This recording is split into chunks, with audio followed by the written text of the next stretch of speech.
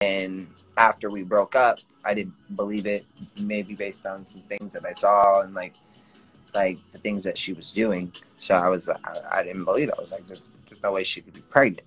But But she's gonna tell me that she was, and she showed me the proof. Then that's what I'm. That's that's what I'm going to believe. So, and you know, if that hurt her feelings in any way, or if that hurt your feelings in any way, I love you. I'm sorry I didn't mean to do that to you. okay.